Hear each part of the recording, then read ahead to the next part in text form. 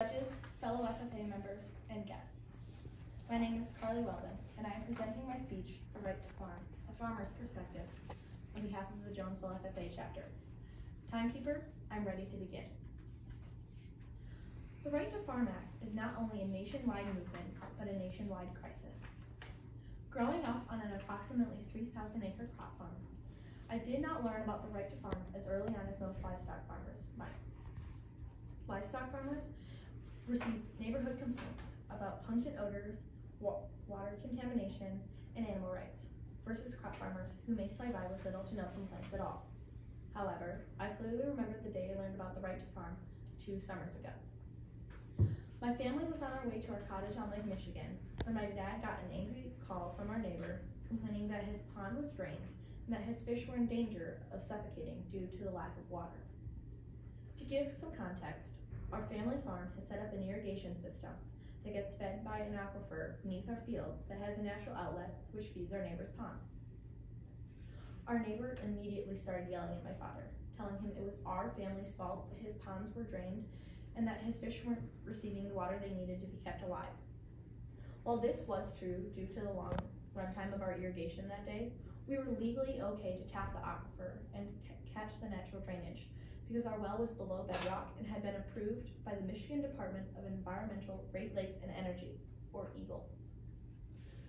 My brother and I were in the back seat of the truck while this call was taking place.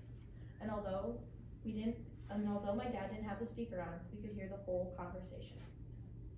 From the back seat, we could hear the man yelling and berating my father, saying that this never should have happened because he had the rights to that water source. My dad said that he was sorry it had happened and tried to explain to him simply that we did have the rights to the water because we were farmers. My dad stated that we were going away for the next week and they would have to discuss the matter in person later, but to solve the problem immediately, he would send someone over to shut off the irrigation. After that, my neighbor told my father they would indeed be talking about the matter when we got home, because he was still very upset.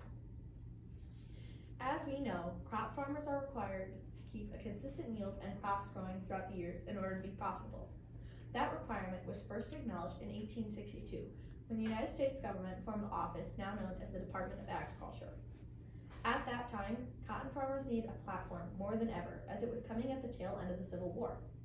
These farmers, with and without slavery, needed a place to be heard and have needed a place to be heard and have a place to discuss recovery plans for farm life with and without slavery in the South. The Right to Farm Act itself is a reiteration of what the Department of Agriculture was trying to do in 1862.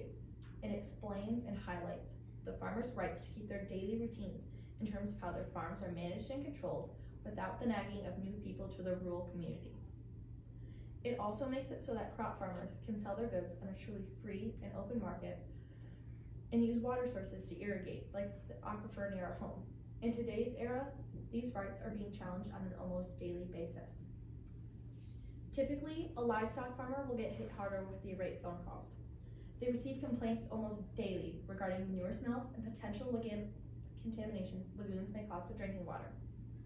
Many non-farmers find the smells of animals grown commercially to be unpleasant or disturbing, so they are quick to judge and criticize the farmer.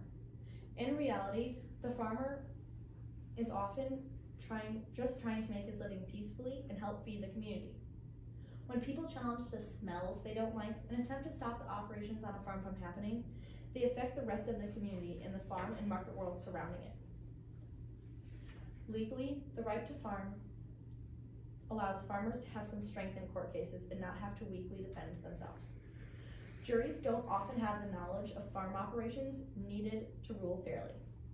Now, farmers backed with lawyers specializing in agricultural law and farm bureau have a better chance in the courtroom than ever before.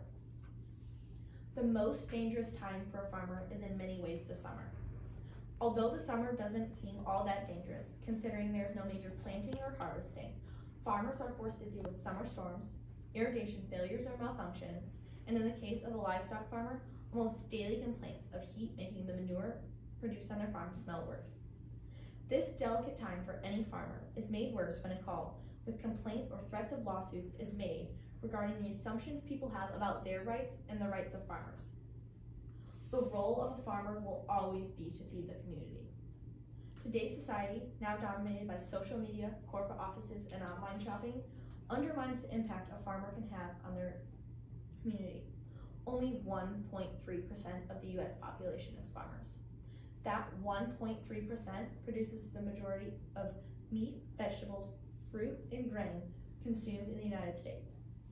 When one person complains, creates a problem, or accuses a farmer and takes them to court, their actions jeopardize the food chain. The right to farm law was passed in New Jersey in 1979, and by 2015, all 50 states had passed that law, including Michigan in 1981, which enables a farmer to do so much more. In conclusion, the Right to Farm Act provides a foundation to allow our nation to produce the necessary food, feed, and fuel required for our nation to survive. At this point in time, the Right to Farm Act is continuously working to improve relations throughout the rural community, heighten farm awareness in everyone's lives, promote communication, and protect the farmer with state laws. Our family has focused on our neighborly relations by shortening our irrigation run times and openly communicating with our neighbor about scheduled runs that may consume more water resources. And that communicating, in and of itself, is the heart and soul of the Right to Farm Act. Timekeeper, this concludes my presentation. Judges, you have a copy of my references, and I now open the floor for questions.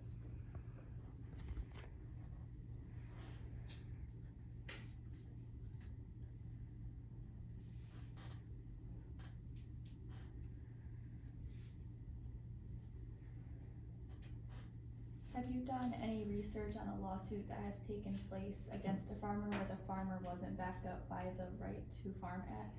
Um, sometimes if they're water, um, I'm gonna use a crop farmer example. Um, it was regarding a water or a wetland, water conservation, and they were actually not under the guidelines of a certain thing. So in that case, the farmer did think that they were in the right and they typically would have had the right to farm with backing them, but because they weren't following one of the codes of this generally followed state law about wetlands and natural conservation, they weren't backed by the right to farm law. What made you choose, um, it seems you speak a lot about the law and the language of the law, um, what made you specifically hone in that piece of it? Um, well, I think that it's really important that farmers have backing in the community because over 98% of cases regarding farmers' rights are dealt underneath the table and not necessarily at the um, level of a courtroom. Only 250 cases were reported regarding the rights of farmers in Michigan in uh, the past year.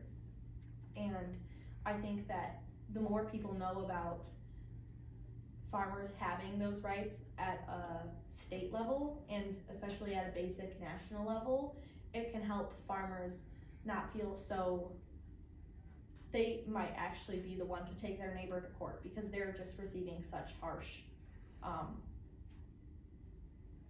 accusations as opposed to the neighbor taking the farmer to court. Mention all of these issues that we have with like our community and with manure and smell and just the inconvenience that it poses. Do you think that this is like widening the gap between the farmer and the consumer? And if so, how do we help combat that and, you know, get that consumer in and see what we're doing and kind of get them to that level of understanding so they're at a common ground? So, a common place that you could, that any person could find more uh, about the right to farm and the rights of farmers would be on the Farm Bureau insurance page. And there are several other resources that show the rights of farmers and it shows the process from this is manure is almost essential to the growth of plants and it's just a natural thing that everyone should have to deal with, not just people who don't like it. So I know driving by personally as a farmer, I am not a fan of the smell of manure, but I would never go because I know the behind the scenes of it that it goes towards raising those crops, which goes towards raising the food that everyone else eats. And so the more, I feel like the more people know about that and the process, the better it will be for everyone else. And that would close the gap between consumer and farmer.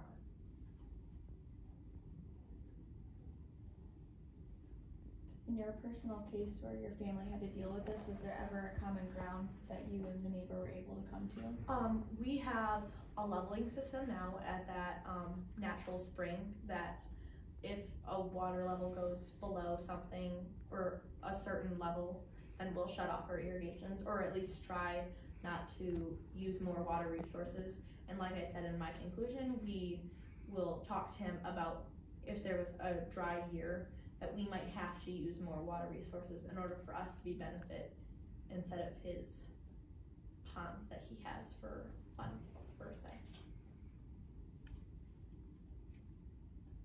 Do you think there's any section of the policy that is lacking that might not be covered in the farm, like in that policy? Do you think there's anything that's hurting the farmer? So there definitely is different variations. Each state has their own variation of the right to farm law, and then on a national scale, the Department of Agriculture has their basics that all state constitutions have in those laws. And with that in that basic constitutional law, it shows that farmers have a certain extent to which they, they need to have their wells approved.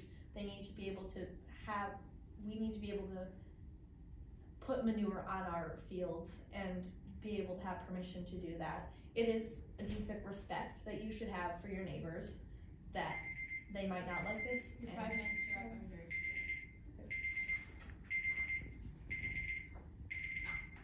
Thank you, Carly.